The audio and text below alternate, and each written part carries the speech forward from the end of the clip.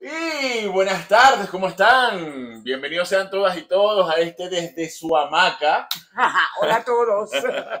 Yo soy Néstor Mora, no soy Amanda Gutiérrez, no soy, no me confundan.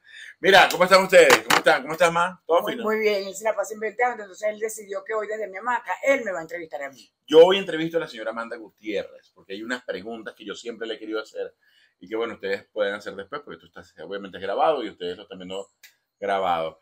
Eh, ¿Qué tal? ¿Cómo te sientes? Yo muy Hoy es bien. la entrevistada en tu hamaca. Hoy soy la entrevistada, gracias, gracias, Ah. por, gracias por recibirme ¿Te había pasado? en mi casa. Te había pasado. Ah, O sea, no. esta es tu casa. En mi hamaca no. En mi hamaca nadie en mi hamaca desde mi hamaca. En mi hamaca. Mira, este, bueno, nada, primera, primero que nada, este programa sale gracias a todos los que quieran patrocinar acá, a mí principalmente y luego a mi madre. Y segundo, nada, quisimos hacer esto un poquito, darle un poquito más de dinamismo a, a este de mi hamaca. Y bueno, hoy ayudando aquí a mi madre, le dije, mira, pero ¿por qué no te doy la entrevista yo a ti? ¿Por qué no te pregunto ahora a ti? ¿Verdad? Me pareció chéverísima Ah, idea, bueno. buenísima Va- idea. Vamos a empezar con las preguntas más light. Por ejemplo, ¿qué tal te va con lo de los cojines? Ese emprendimiento tan chévere que arrancaste en noviembre el año pasado. Sí, me va Y buenísimo. Ni te imaginabas, porque me consta todo, yo, yo vi en primera persona todo lo que fue el nacimiento de esa idea y, y, y, y ahí sentada en ese mueble y que no se me ocurre tal cosa. Eh, ¿Cómo te va con eso? ¿Qué tal? Buenísimo porque han tenido un exitazo, sobre todo la gente de afuera. Quiere tener su Ávila en su sofá, quiere tener su Cruz 10, quiere tener su eh, Fera de Soto. Y aquí en Venezuela me han comprado muchísimo, pero afuera me han comprado Eso es impresionante. buenísimo porque también que la gente que está afuera extraña más. O sea, que uno tiene que no tener las cosas para empezar a extrañar. Exacto. Eso es lo bueno que tiene eso. Y bueno, y eso. Y no, no en cambiar algún otro diseño, porque, porque los, No, los diseños este- de los cojines son no. un tributo. A, a un homenaje a los Ujú. artistas venezolanos. No, eh, no tengo el año todavía y esta colección de siete pintores venezolanos clásicos, que son íconos de- del arte, es mi homenaje a ellos, aguanta mucho todavía. Aguanta mucho para yo hacer otra que colección. que hubiese vendido 100 millones de cojines. No, 100 millones de cojines no, pero he vendido bastante. Bueno, poco a poco, poco a poco. Sí. Yo, bueno, casualmente quería aprovechar el momento para decir que yo tengo un emprendimiento también, Mm. que voy a hacer almohaditas. No, mentiroso. Hazme la pregunta, chico. Ah, bueno, pero es que no empezar con los Me dijeron que te parecía a Federico del Rincón. A Fede- Federico, no. Sí. Y si Federico te- del Rincón, ese es David Comedia que lo hace. Federico del Rincón, arroba F del Rincón. No, en serio. Sí, me dijeron por ahí. Me lo Pero tú que me ves en persona no me Sí parezco. parece. No me parezco nada. Sí, te parecen los ojos. ¿Tiene los ojos claros? Sí. Hermosos, así como los míos. Hermosos, así como los tuyos. Miren, este, nada, bueno, yo siempre que siempre he pensado que hay muchísima gente, porque ustedes no saben, pero Amanda Gutiérrez tiene más tiempo eh, siendo una actriz eh, reconocida que no siéndolo. Tiene más tiempo en el vocablo eh, del día a pie, del que no trabaja en los medios, tiene más tiempo siendo famosa que no siéndolo. Entonces yo siempre he pensado, le dije otra vez, madre, pero no sabes, siento que no sabes eh, diferenciar una cosa de la otra. Entonces le pregunté, ¿algún momento de tu vida, de tu carrera, tú has sentido como que, que eso no lo mereces tú porque tú eres Amanda Gutiérrez, tú eres la dueña? O sea, ¿en algún momento has sido eh, bien, bien prepotente? No, de verdad, o sea, dilo aquí de verdad frente a las cámaras, que, o sea, te- que no puedes mentir. Sí, pero es que no entiendo muy bien la pregunta. porque- ¿Alguna vez fuiste, porque ojo, o sea, que ustedes no lo saben, pero Amanda es súper, bueno, mejor sí lo saben, pero súper respetada en el medio artístico, indiferentemente, inclusive por sus compañeros y demás. Pero tú siendo Amanda Gutiérrez, cuando estabas como en el top, que, que ya está de la novela más pegada, que, que no podías salir ni abrir la puerta de tu casa porque este, este país es súper novelero, te gusta ver novelas. Eh, en ese momento tú no sentiste que de repente, bueno, Amanda, montate aquí en este carro. Este carro, por Dios. Ay, no, por ¿Nunca Dios, fuiste así? no. Todo lo contrario, yo soy, yo soy colchicobija, pana. A mí lo que me toque, yo le echo pichón y yo valoro todo y agradezco todo. No, hombre. Ah, Eso ese es, camerino, no, no, yo quiero un camerino más grande, no, no, no, no, no, no, no. no. A mí me daban mi camerino y yo lo que hacía era remodelarlo. Ah, bueno, eso sí lo sé. yo. Siempre. Lo remodelaba y lo ponía súper cool súper chulo, como A tu dices tú. estilo, a tu a mi estilo, estilo. Sí, pero no, no, no, no. Yo soy bastante sencilla en ese, en ese sentido. Qué bueno. qué O sea, bueno. nunca he sido diva. Eso, diva, diva, la Mm. palabra es diva. Mm.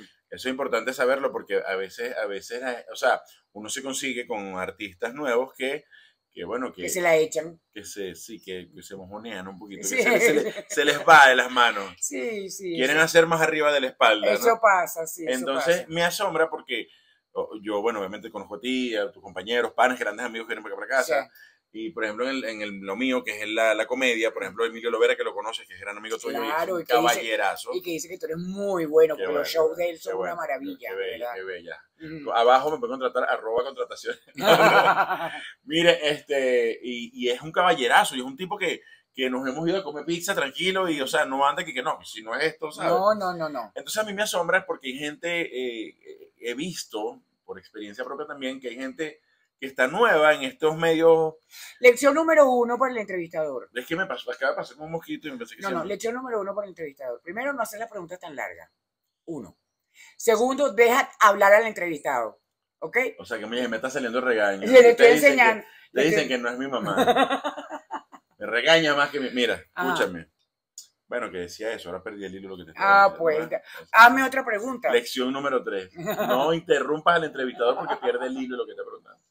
No, mentira. Bueno, que, que siento que hay artistas nuevos que están como, como, como muy... Pero tú sabes que eso, eso depende del talento y de la calidad. La persona que está segura de su talento y de su calidad, de su trayectoria, de dónde está, tiene que obligatoriamente que ser sencilla, porque hay una seguridad que te da eso, ¿entiendes? Claro, Entonces, bueno, Emilio Lovera, más sencillo que Emilio Lovera no existe. Y ese es un, un Mira, lo tipazo. veré más sencillo que un cubierto de plástico. Exacto. emoji es sencillo.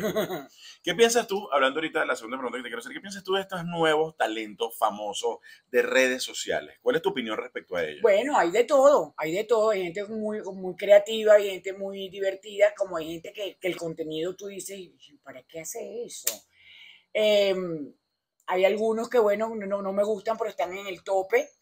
Este, y, y yo creo que, no sé, el contenido en las redes sociales es muy importante. Tienes que enfocarte en algo y, de- y decir algo que trascienda y que, y que lleve a la gente, le lleve algo positivo a la gente este, o negativo, como tú quieras, pero que tenga, que tenga un sentido. Entonces, pero eh, no puedo generalizar porque hay de todo, hay de todo, hay Sí, bueno y hay no tan bueno. Mm, Yo pensé que tenías una, una opinión más radical. Yo sé que no, pero quería llevarte a ese punto. Ah, Ay, Yo soy de esos entrevistadores que te llevo para allá. Llévame, Hasta- pues hasta llévame. Hasta, que- hasta que digas No, que, que se pudran todos. No, Los, los detesto. No, tú sabes que de mi boca nunca vas a escuchar Por eso. eso, por eso te quería llevar, pero yo sé que era imposible hacerlo.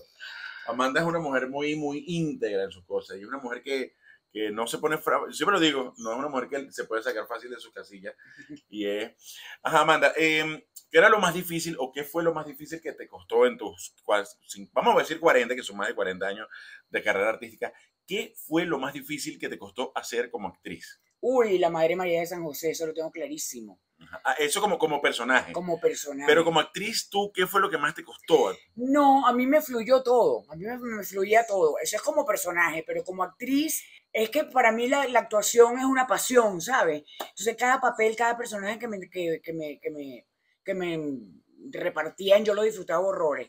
Ahora puede ser, puede ser las horas de grabación. Pero en una oportunidad, y disculpa que te interrumpa, en una oportunidad me comentaste Mm, que llorar era una de las cosas que... Esa cosa a mí me cuesta horrores llorar. Es más, yo les voy a contar, les voy a ser bien sincera. En la Madre María de San José estuvimos por lo menos 45 minutos en una toma así, yo rezándole a alguien para que me saliera una lagrimita. A mí me cuesta horrores. Yo me puedo poner tristísima, me puede doler muchísimo, pero me cuesta hasta en la vida real, me cuesta muchísimo llorar. Es complicadísimo. Yo creo que este, el director estaba desesperado. Todos lloraron menos tú. Sí. el camarógrafo director. Estaba desesperado, pero bueno, una lagrimita, manda. Entonces yo, te- yo tengo que concentrarme mucho para poder llorar en cámara. Y nunca se echaban goticas. No. Pero si viste a- a algún, hay alguien que se Sí, echaba sí, es más, una vez lo utilicé. Una vez lo, sí, una vez lo utilicé. Que yo, ah, porque era una escena que se repetía y se repetía y se repetía Esa por, lloradera todo el día que ajá, por, por fallas técnicas, que llegó un momento y dije, "Ah, no, ya va, pero tú déjame echarme un colirio. Ajá. Repite, déjame echarme otra vez el colirio. Sí, pana, porque no. Bueno, porque ahí lo que vale son lo, lo que tú sientes por dentro, que es lo que transmites, ¿no? Claro, claro. Mm. Es que, es que también, también en general la gente...